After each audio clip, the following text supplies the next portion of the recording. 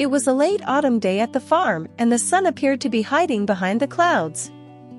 A veil of light mist started to descend upon the landscape.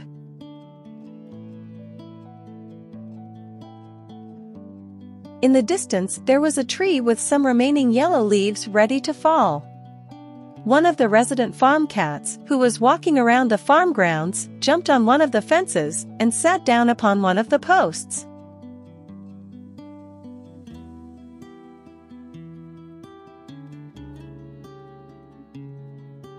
Two curious alpacas with brown-colored fleece approached the cat cautiously.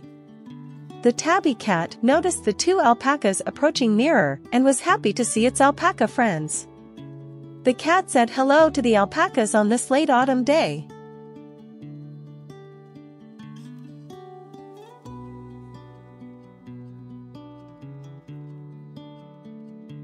Do you love alpacas?